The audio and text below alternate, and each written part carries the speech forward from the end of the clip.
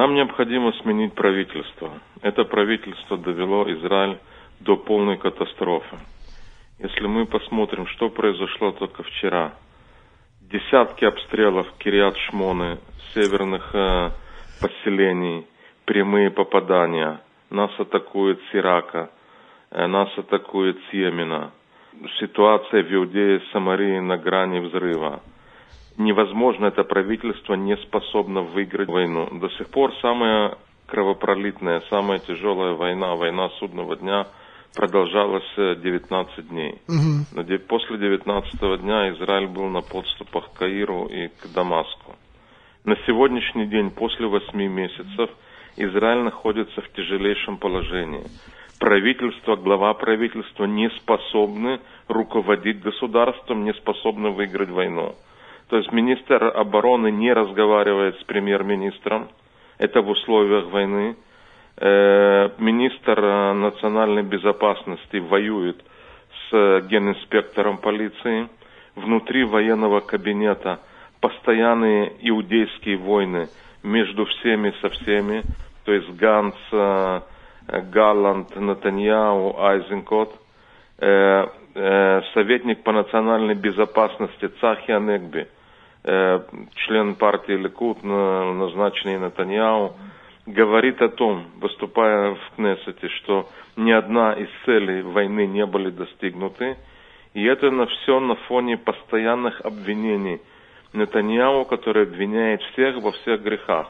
Вчера он выступал э, в парламенте и обвинил переговорную группу, главу переговорной группы, Э, генерала Ницана Алона и вообще сказал, тебе что-то там не нравится, уходи в отставку. Ну, генерал, скажем так, генерал Ницан Алон обвинил сначала Бенемина Натаньяу, но это... Мы не знаем, мы не знаем, что было, мы не слышали Ницана Алона, есть э, постоянные не утечки. Нет, есть постоянные утечки с заседаний военного кабинета, угу. это тоже о чем-то говорит. И когда я смотрю на все остальные параметры, что происходит в экономике, полная катастрофа, то есть с точки зрения роста цен, дефицита бюджета. Э, просто э, ситуация вышла из-под контроля. И я возвращаюсь к завтрашней встрече. Какова ее цель? Ее цель ускорить процесс смены правительства. Каким образом?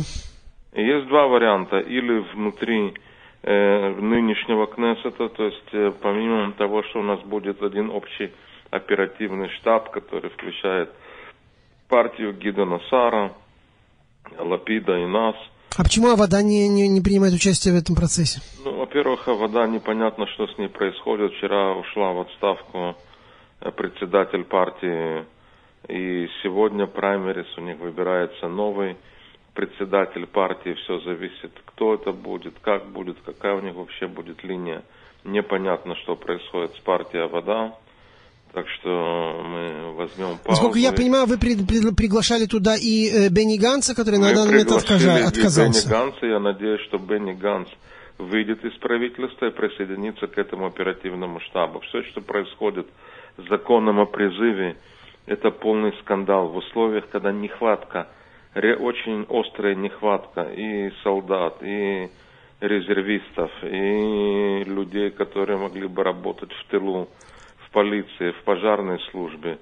Э, делает все, чтобы э, закон о призыве не прошел. Все, что им движет, это только одно единственное соображение выживания и остаться во власти. Ничего другого. Его не волнуют ни солдаты, ни граждане Израиля, ни будущее Израиля – одно единственное, только остаться у власти любой ценой. На протяжении всей этой войны, надо дать вам должное, вы говорили раз за разом одно и то же. Если будет предоставлено место в, в кабинете войны, я готов встать под носилки, как говорят, метахатла алунка, войти в правительство. Это в силе или, или уже нет? Нет, это больше не в силе. После восьми месяцев мы были, я был готов в начале войны Э, войти в военный кабинет. Я сказал, что мы поддерживаем создание угу. правительства чрезвычайной ситуации. Мы все, включая меня, проголосовали за создание. Мы сказали, что нам не нужно ни коалиционное соглашение, ни второго министра, не нужны какие-то ставки или бюджеты. Сегодня, после того, что произошло в последние дни, э, включая позицию Натаньяу, о законе о призыве, ясно, что и государство его не волнует. То есть е- даже если сегодня вам скажет господин Либерман, по- пост случае. министра обороны, пост в военном кабинете, это в кабинете Даже, войны и даже так если далее. пост Папы Римского мне предложит в, от Натаньяу, мы не будем там внутри. Я говорю, нужно посмотреть, как э, ведется война последние две-три недели. С одной стороны, попытка торпедировать настоящий закон о призыве. С другой стороны, кабинет, в котором никто не разговаривает ни с кем, только внутренние войны. И в этой обстановке невозможно, невозможно входить. Сегодня, к сожалению, всем стало ясно, что Натаньяу не способен руководить страной, не способен вывести нас из кризиса и не, не способен обеспечить победу в этой войне, просто ее затягивает.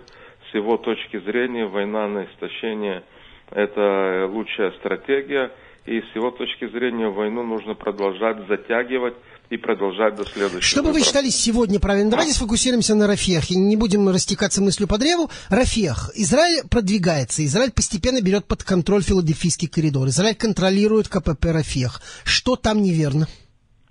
Неверно это прежде всего нужно было сделать полгода назад, семь месяцев назад. Не сейчас. Сейчас мы действуем только на окраинах Рафиаха. Мы не входим в сам Рафиах, не штурмуем сам Рафиах. Израиль постоянно оправдывается вместо того, чтобы все время э, четко разъяснить, э, какое, какое обвинение в, в нашу сторону, что погибли невинные. Наоборот, нам нужно обвинить э, э, и египтян, и, и Хамас, что они испо- используют не, невинных людей в качестве живого щита. Это основная проблема, не наши действия. Постоянное заискивание, постоянная э, попытка оправдаться. Вся стратегия, она выстроена неправильно. И мы все время захватываем какой-то участок, потом его освобождаем, и тут же туда заходит Хамас. Смотрите, сколько раз мы уже были на севере сектора Газа, в центре Газа, сколько раз мы входили в Джибалию, и снова все повторяется. Нет никакой даже военной, не военного четкого плана. У этой войны нет стратегии, кроме политической стратегии выживания. Все, что сегодня делается, слишком поздно и слишком мало. Не в этом объеме. К сожалению, в Рафиахе действует только одна дивизия. Там нет никакого реального же желания или даже при подготовки к захвату всего Рафиаха и очистки. Более того, все, что происходит э, и с поставкой продовольствия, гуманитарной помощи, все отношение к э, УНРе, что УНРа продолжает действовать из Израиля э, в полном объеме, хотя УНРа это террористическая организация, кстати, завтра мы поднимаем закон о том, чтобы признать УНРа террористической организацией и не давать ей действовать ни на территории Израиля, ни находиться, ни использовать в качестве транзита нашу территорию.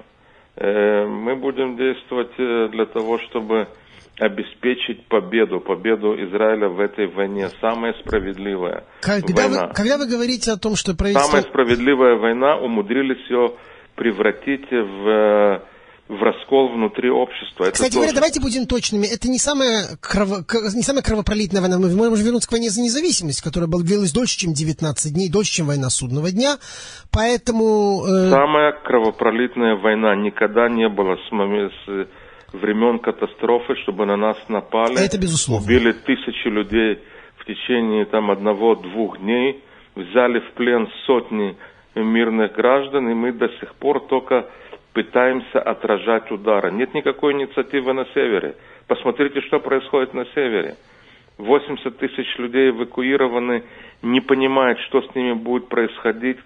Даже одно поселение э, Маргалет сказали, что мы больше не хотим быть частью Израиля. Мы закрываем ворота, мы не хотим тут видеть никаких солдат. Такого это было беспрецедентно. Даже во время войны за независимость таких э, прецедентов не было. Давайте поговорим о действиях, которые этот объединенный штаб намерен предпринять. Вы же давно в политике, вы хорошо знаете, что коалиция только проваливается, как правило, внутрь себя, ее не разваливают извне. Как вы собираетесь привести к смене правительства? Прежде всего, сегодня э, основной камень преткновения это присутствие там Ганса и Айзенкота. Когда мы разговариваем, когда я разговариваю членами Ликуда, и таких немало, которые не довольны политикой Нетаньяу, разочарованы, угу. понимают, что от него нужно избавляться, они говорят, мы не будем прыгать в бассейн, в котором нету воды. В тот момент, когда Айзенкот и Ганс внутри коалиции, даже если 5-6 членов Ликуда выйдут из коалиции, все равно у них есть большинство. Поэтому первая э, задача, первый этап это добиться ухода э, Ганса и Айзенкота из этой коалиции. Второе, необходимо будет мобилизовать каким, как минимум пять членов Ликуда. Э, мы, я веду множество контактов, то же самое и Лапид, и Гидон Сар. Каждый в отдельности, нам нужно скоординировать эту деятельность. На втором этапе нужно будет найти пять депутатов от Ликуда. Есть которые... такие депутаты? Да, есть, можете назвать есть, больше, есть больше, одно? чем пять, есть больше, чем пять, которые крайне недовольны позицией Натаньяу, его действиями, которые считают, что он э, заводит страну в тупик, ведет нас к катастрофе, но это нужно как бы перевести в конкретные действия не просто в разговорах okay. в колуарах, а в конкретные действия, в конкретные голосования. Последний вопрос, господин Либерман. Сегодня возобновляются э, какие-то контакты, не очень понятно какие, по вопросу о сделке по освобождению похищенных. С вашей точки зрения, есть шансы на достижение соглашения? Израиль должен закончить войну, если от него этого требуют, ради того, чтобы освободить тех, кто еще в руках Хамас? С моей точки зрения, все политики должны заткнуться. Все разговоры в, в студиях, э, теле, радиостудиях – со стороны политиков только мешает и отдаляет какую-либо сделку.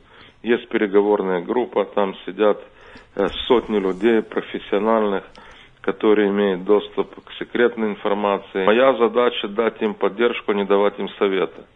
У нас все универсальные специалисты, вы знаете, я видел всю эту категорию универсальных специалистов, те же самые люди советовали, говорили, что нужно делать во время короны, что угу. нужно делать во время экономического кризиса и что нужно делать с нашими э, заложниками. То есть я не универсальный специалист, и поэтому мой совет мне самому и всем остальным политикам заткнуться на эту тему и молчать.